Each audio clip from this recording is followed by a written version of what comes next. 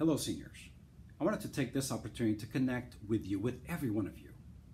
This is usually the time of the year when our soon to be graduates find excitement in trying on their caps and gowns, selecting that perfect dress or tuxedo for prom, signing yearbooks, attending grad bash, and partaking in other special events that mark your final year of high school.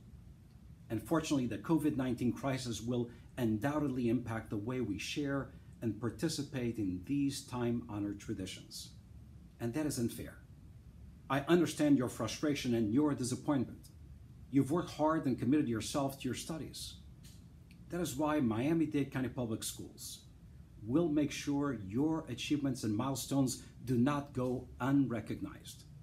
We are weighing many options and looking into innovative opportunities to culminate your years of hard work, whether virtually or in a ceremony held later in the summer, all while abiding by the Centers for Disease Control and Prevention guidelines.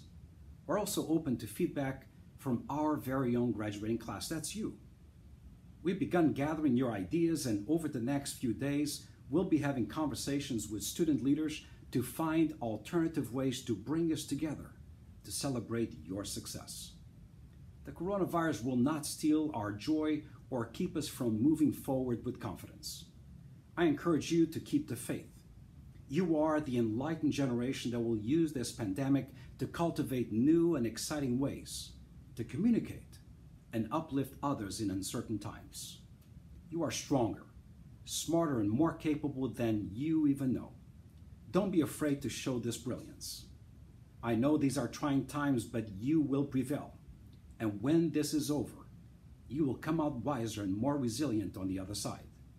In more ways than one, the class of 2020 will be more memorable than you could even have imagined. Stay the course.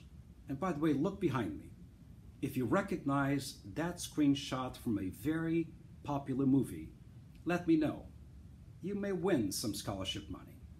Take care.